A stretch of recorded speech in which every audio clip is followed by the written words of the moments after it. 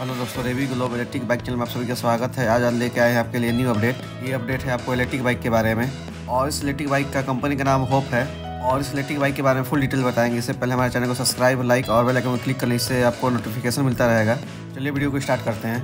सबसे पहले इस इलेक्ट्रिक बाइक के लुक की बात कर लेते हैं। ये एक शानदार लुक दिया गया है इस इलेक्ट्रिक बाइक में। और इस इलेक्ट्रिक बाइक की लाइटिंग की बात कर लेते हैं। इसमें फुल एलईडी लाइट का यूज़ किया गया है। और इसके इंडिकेटर में भी एलईडी का यूज़ किया गया है। और इस इलेक्ट्रिक बाइक के लुक की बात करें तो ठीक ही ठाक लुक दिया गया है इसमें। और इस इलेक्ट्रिक बाइक में आपको सस्पेंसन टेलीस्कोपी सस्पेंसन मिल जाती है इसमें, जो कि काफ़ी कंफर्टेबल है भारतीय रोड के लिए।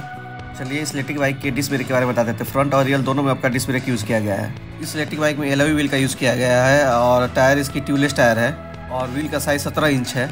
इससे आपको ग्राउंड क्लियरेंस एक सौ एम का मिल जाता है, जो कि भारतीय रोड के लिए अच्छा ग्राउंड क्लियरेंस है।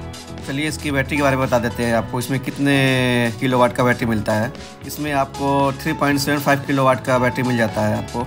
इससे आपको 180 किलोमीटर का रेंज मिल जाता है वन सिंगल चार्ज में। और इस इलेक्ट्रिक बाइक को फुल चार्ज करने में कितना यूनिट का आपका बिजली खपत होता है? इसमें आपको चार यूनिट का बिजली खपत होता है फुल चार्ज होने में।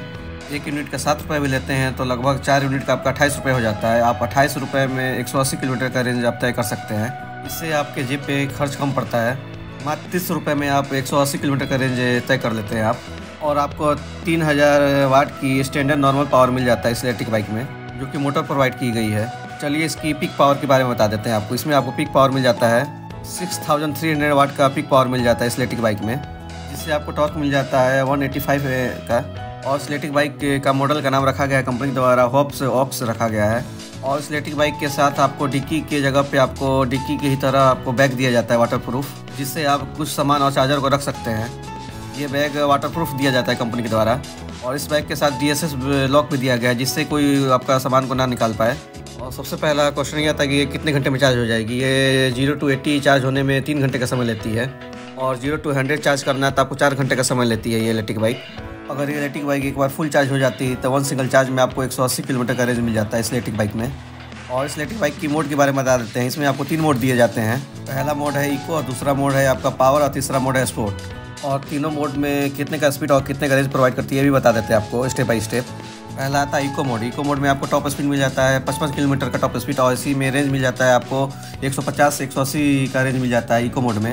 और दूसरा मोड आता है पावर पावर में आपको टॉप स्पीड मिलता है सत्तर किलोमीटर का टॉप स्पीड मिल जाता है और उसी में आपको रेंज मिल जाता है सौ किलोमीटर का रेंज मिलता है इसमें. और तीसरे मोड के बारे में बताते हैं. तीसरा मोड का नाम आपका स्पोर्ट है. स्पोर्ट में आपको टॉप स्पीड मिल जाता है नब्बे का, नब्बे से पंचानवे का टॉप स्पीड मिलता है और इसमें रेंज मिल जाता है सत्तर किलोमीटर का. और इसकी टॉप स्पीड आप चाहते हो तो स्पोर्ट मोड में आप डालोगे तो 95 किलोमीटर का टॉप स्पीड मिल जाएगा, लेकिन इसमें आपका रेंज कम हो जाएगा.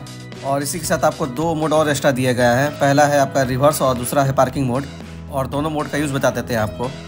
जैसे ही आप रिवर्स बटन को क्लिक करते हैं तो बाइक रेडी हो जाएगी पीछे होने के लिए। और जैसे ही आप पार्किंग मोड पर क्लिक करते हैं तो बाइक हो जाएगी आगे चलने के लिए। और ये दोनों फीचर लगभग हर इलेक्ट्रिक स्कूटर हर इलेक्ट्रिक बाइक में दिया जा रहा है। ये कॉमन फीचर हो गया है, हर इलेक्ट्रिक बाइक हर इलेक्ट्रिक स्कूटर के लिए। और इस इलेक्ट्रिक बाइक में आपको स्पीडोमीटर डिजिटल मिल जाता है। इसमें आपको ब्लूटूथ कनेक्टिविटी फ़ोन कॉलिंग को उठाना और कट करने का भी ऑप्शन दिया गया है इसमें, और नेविगेशन भी दिया गया है। और इसी के साथ इसमें आपको हेलमेट का रिमाइंडर भी दिया गया है और स्टैंड का भी रिमाइंडर दिया गया है। ये काफ़ी अच्छा फीचर है। इस रिमाइंडर से ये आपको फ़ायदा होगा कि हमको हेलमेट लगाना है और दूसरा ये फ़ायदा होगा कि आपका स्टैंड लगा होगा तो ये गाड़ी आगे बढ़ेगी ही नहीं। ये कमाल का फीचर है आपको। और इसी के साथ इस इलेक्ट्रिक बाइक में आपको यूएसबी चार्जिंग पोर्टल भी दिया गया है। इससे आप अपने मोबाइल को भी चार्ज कर सकते हैं।